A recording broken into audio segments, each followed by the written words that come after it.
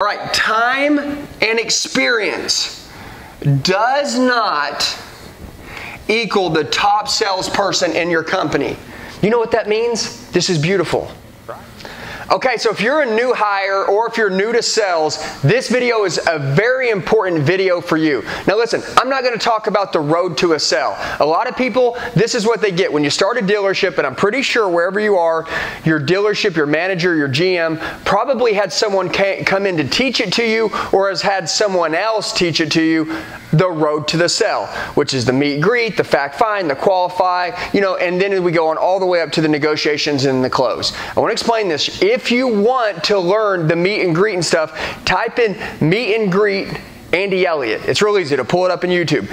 That video is not this video. These are the five things that beginners don't get talked to about. So, what happened when you started?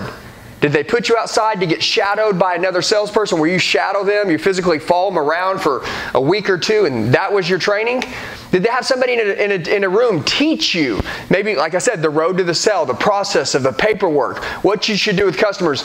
This is not that video. This is the one video that's going to teach you to think big and crush everybody around you. Why? Because it's possible.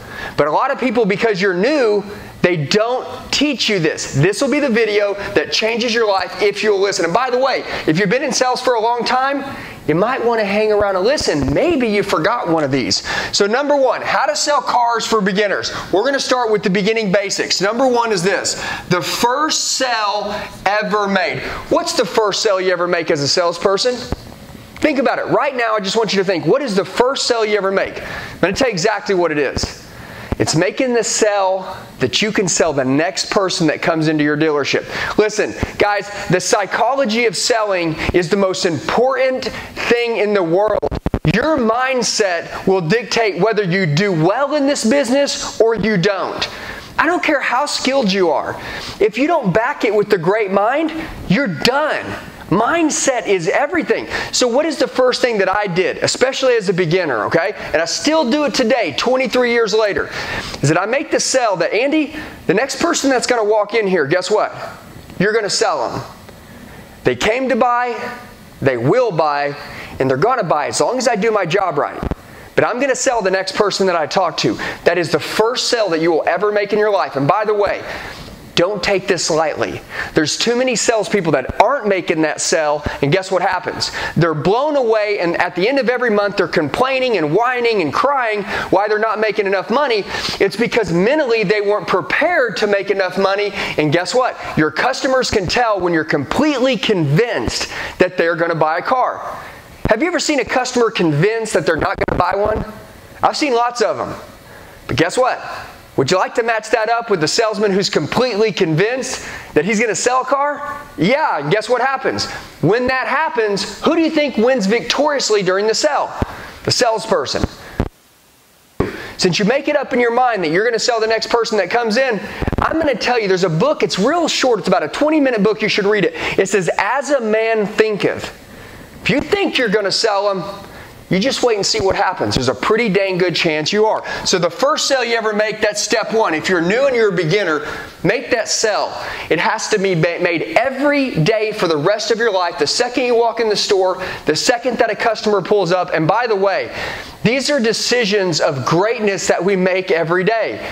A lot of people, they get lost in the busyness. Hey, I come into work, I'm looking for a customer, what am I going to do? Oh, there's a customer, blah, blah, blah. Oh, it didn't work out. Dang it. Man, you got to slow down. If you want to become great, create great habits. This is habit number one. All right. Hey guys, I see you. Listen, I appreciate you. Sorry for interrupting the video. I just wanted to tell you real quick. Please do me a favor.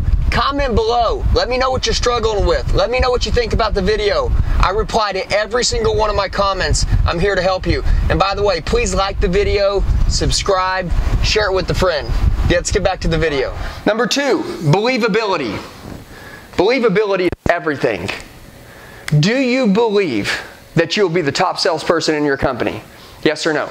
Do you believe? You have to make this decision right now in the place where you're at. Are you going to be number one? Are you just going to be a filler? Okay? Are you just going to help move cars around, right? When the, when, when the lot gets messed up? Or are you going to be the winner? Are you going to be the one that your manager, when he's got a buddy calling saying, Hey, I want to come in to buy a car, he's like, boom, paging Andy to the sales tower saying, Andy, I need you to take care of this guy who's coming in. You know what that means? He knows you're representing him and he knows you're going to do a good job. I want to tell you this. If you want to become the best, you have to believe that you are going to be the best. And in your place, you have to fake it till you make it. You have to decide to outwork everybody around you right out the gate. What does that mean? Andy, hard work. Forgot the D. Hard work. Straight out the gate, day one. Watch this. You may not be, be the most skilled person in the dealership right now because you're new, but I promise you this if you show up with hard work, you will build a name for yourself in spite of the skill that you don't have, that you're the hardest worker in the dealership. That's a beautiful name. You know what? Hard work beats skill when skill don't show up, okay? I want to tell you this. Hard work. Hard work. I see hard work beat skill all the time. But now hard work matched with learned skill, you acquire more skill, new skill equals new money. Okay? And that's why you're watching this video. By the way, Got 300, 500 videos on YouTube. Go through and watch every single one of them, okay? Check this out. Number three here confidence comes from competence. Okay, how many people right now want to be more confident at selling cars? Everybody. You know the one thing I see? Is I see the lack of confidence that people have, and why do they have not bulletproof confidence? Why do they don't have it? It's because they don't have enough competence, which means they haven't put the training in. Look, I want to share this with you. Guys, I have lots of courses. Go to the ElliottGroupNow.com, okay? The ElliottGroupNow.com, two L's, two T's on Elliott, and look at my courses. Check this out. You want to become deadly with confidence? You want to become deadly. You got to know what the heck you're doing. You got to have the competence. I put out a course. It was called Zero to 100,000 Fast Car Sales Training Course. It was not only how to get to 100,000, but how to get there again and again and again through the year. I made 700 grand a year selling cars. I'm going to tell you how. Because when you learn the deadly skill that your competition don't know, you crush everybody. Go to the ElliottGroupNow.com, click under courses, go to the 0 to 100,000 fast course. Guess what? You get it right now, I guarantee in the next week, you'll have the fastest win and you'll start crushing people right out the gate. All right? Number four, Think big. One of the biggest things that I see with new people is because you're new, you think small. You're like, hey, let me pay some time, right? It's like almost like gel. You're like, oh, okay, cool. I got to pay the time. I got to put in one year. Once I put in a year, then I can start thinking big. No, man, you can start thinking big right now. So if that hasn't been you and you haven't been doing that, change it away. It's all about from today forward. I don't care about how you've been in the past. I care about how you are right now. So with that being said, think big. There will be no small thinking for high achievers. We're not going to do it, okay?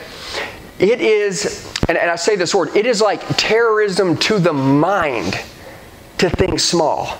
It will kill you. You have to think giant. Most people around you, all right, they're wanting to, to, you know, get as many cars as they can sold. There's no finish line in this game. No matter how many cars you sell right now, guess what's going to happen? You're going to have to restart again next month. There is no finish line in our game, and that's why I'm so passionate about it and love it. Keeps me on my toes all the time, and I love it. And you're going to love this about this business, but you have to think big every day of your life, regardless of what happens. So, what does that mean? That means you may have to audit your circle and get rid of anybody around you with small thinking.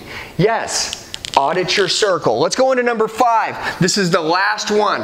All right, time and experience does not equal the top salesperson in your company. You know what that means? This is beautiful, right? You got Mike over here. Mike's been selling cars for 15 years at the store. Mike walks around the store like Mike owns a store. You know what? Mike can get crushed out by a new guy. You know why? By going back to these five things we just went, right? You made the sale that you're going to sell the next person you walk into, okay? Number two, you believe in yourself. You're faking it till you're making it. Guess what? You feel fired up and you're like, man, this is my store. This is my house. I'm putting my footprint on it. It's going to be my home. Guess what? You move on to number three. You start training hard right now. Okay? You want more time and money? You got to give up time and money. You invest in yourself. You see yourself as an investment. Most people go to college and spend fifty thousand a year, um, or fifty thousand on college, so they can make fifty grand on a year and get a piece of paper. You have the ability to make two to three hundred thousand dollars a year. Go spend a thousand on yourself. Okay? That's your college. Okay? With that being said, that will create bulletproof confidence. Not just confidence, but bulletproof confidence. And then guess what? You think big. Mike over here, he goes ups and down, ups and down, ups and down. He's friends with everybody in the store. He's a complainer. You're going to crush him out. It's lonely at the top. Guess what happens? So you realize that the time and experience means nothing. Guys, if you're a beginner, if you're a new hire, or if you've been in this business for a long time, and you're stepping back and watching this video and you're like, man, I'm glad you said that because I forgot that. Take this advice I gave you, go crush them.